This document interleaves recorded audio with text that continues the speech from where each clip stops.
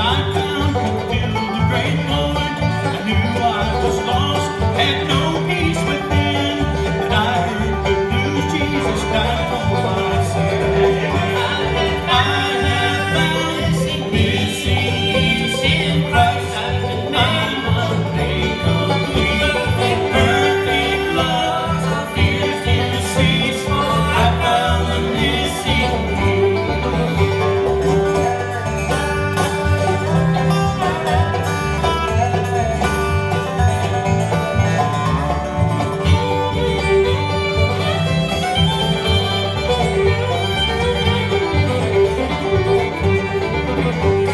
came from.